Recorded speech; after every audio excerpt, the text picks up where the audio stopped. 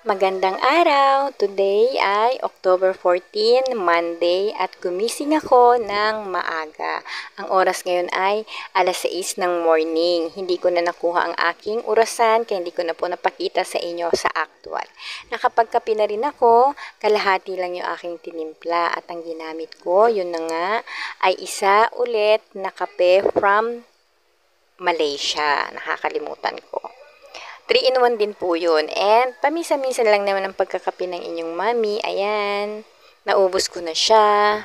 And ngayon, nagre-ready ako para sa aking very, very special day.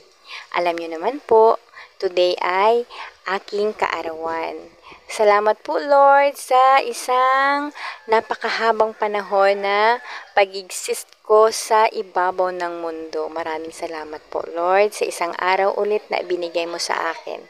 Anyway, ayan, magluluto ako ng very special recipe. Ang aking handa sa aking kaarawan ay ang pansit canton payless. Hindi siya sponsored pero pinakita ko lang po.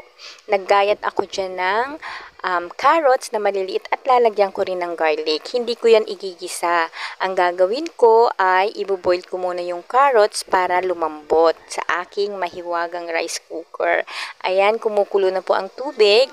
Ihuhulog ko na dyan next yung aking carrots. Pagka-boiled ng carrots, tatanggalin ko. Sa ako naman ilalagay ang pansit canton.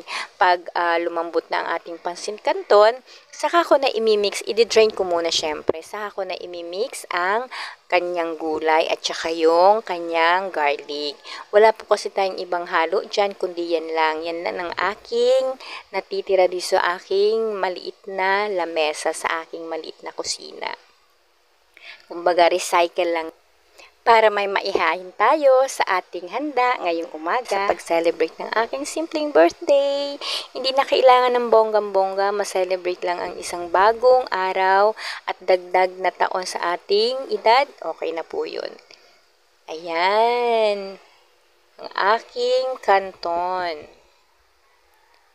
Na-plating ko na. Napakasimple, di po ba?